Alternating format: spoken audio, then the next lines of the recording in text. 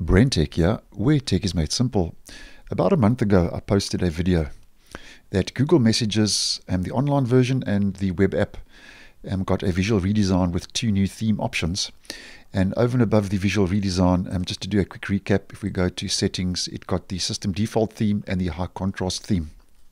Now, if you do use uh, the Messages app, um, just a quick video to let you know that um, I don't know if you have noticed, but the um, online, the web version and the PWA have received a new icon and favicon. So if we just head to messages um, online, you'll see that the actual little icon has changed and it's got a whole new logo. There we go. That's the new logo.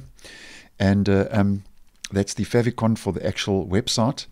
And if we head over to the PWA version, you can see that Messages has got a brand new logo and icon.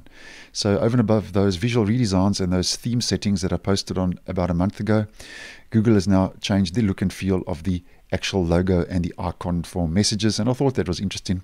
I actually think it looks quite nice. And in case you're wondering, this is what the old one used to look like. So that's what it used to look like. And that's what the new um, Messages icon looks like for the PWA.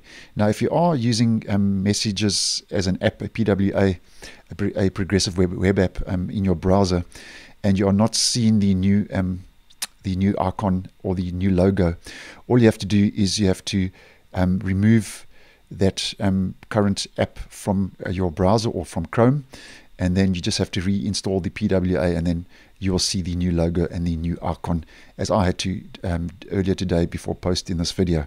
So just letting you know, Messages now has a brand new logo and icon, and if you are using it, just wanted to keep you, um, if you are using the platform, just wanted to keep you updated in case you would be interested. So thanks for watching, and I will see you in the next one.